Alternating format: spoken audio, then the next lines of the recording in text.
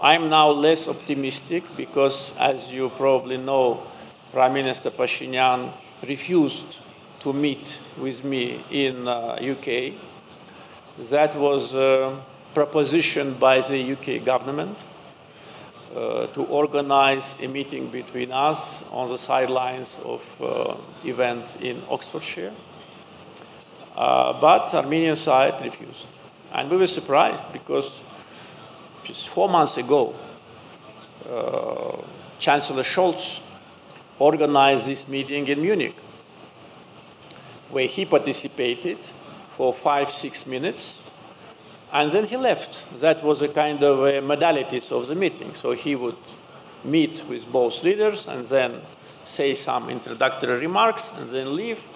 And that's how it happened.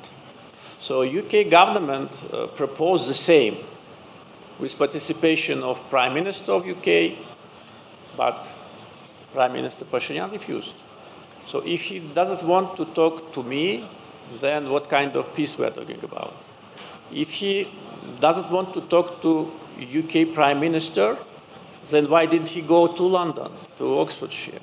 So a lot of things which are in deep contradiction, but we will see. I just, as I said, returned yesterday we will see. Uh, one track is the text, another track is what I said about the legal format.